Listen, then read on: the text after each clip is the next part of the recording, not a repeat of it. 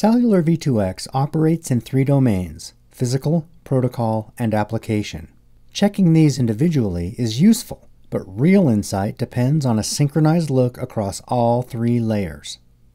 Keysight has a solution we call cross-domain analysis.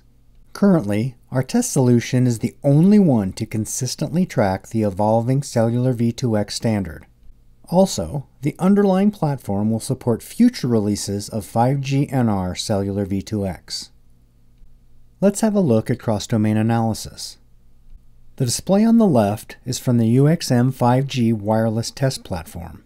At the top left, we see the PHY layer and the RF characteristics of the transmitter.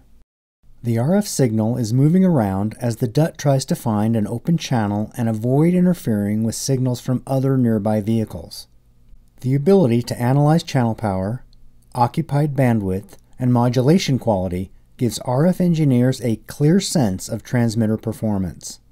Next, we can go up the stack, examining the protocol layer with powerful data analysis capabilities.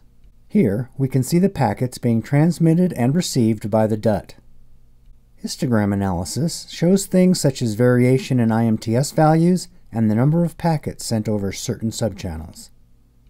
Moving to the top of the stack, we can view the messaging and application layer.